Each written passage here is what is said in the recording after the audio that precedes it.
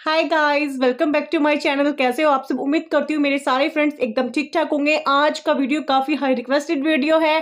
Title देख के आपको आज का टॉपिक पता चल गया होगा। आज मैं आपको बताऊँगी कौन से क्रीम मॉइस्चराइजर मैं अपने चेहरे पे लगाती हूँ, क्योंकि सबसे ज़्यादा कमेंट यही आते हैं कि, दीदी, आपके खूबसूरत चेहरे का राज क्या है? चेहरा इतना साफ़ कैसे है?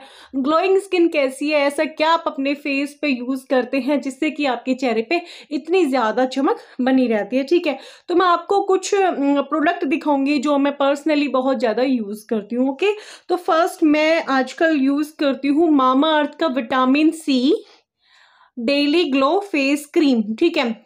फोर स्किन इल्यूमिनेशन, और ये बिल्कुल सेफ़ है, कोई भी स्किन वालों को सूट करता है, और ये ना आपकी स्किन को ब्राइटन बनाता है।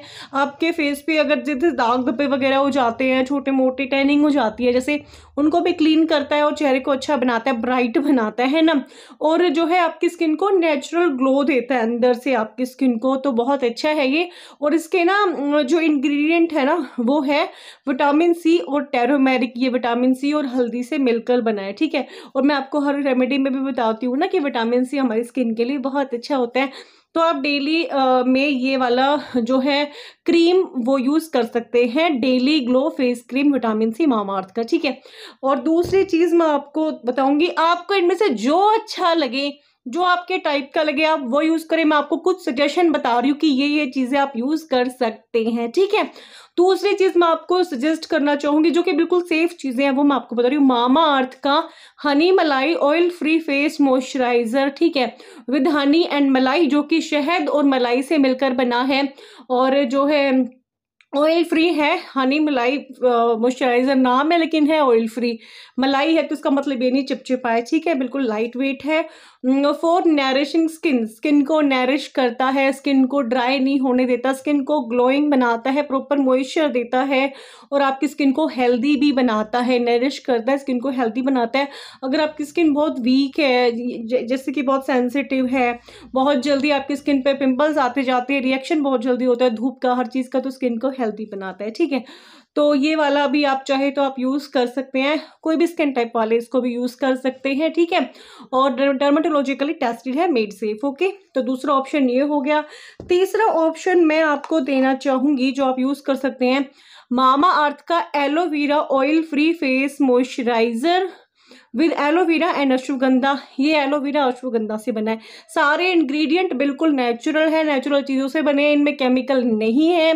इंग्रेडिएंट बिल्कुल ठीक है तो कोई साइड इफ़ेक्ट भी नहीं होगा, ठीक है? डर्माटोलॉजिकली टेस्टेड है, सारे क्रीम मॉइस्चराइजर है suits for all skin type normal oily या फिर ड्राई कोई भी हमारी स्किन टाइप हो सूट करेगा ओके तो एक ये हो गया, इसके बाद से जो है अगेन ये भी मैं काफ़ी यूज़ करती हूँ, मामा अर्थ का vitamin C daily glow face serum जो आजकल आप मुझे काफ़ी देख रहे होंगे यूज़ करते हुए।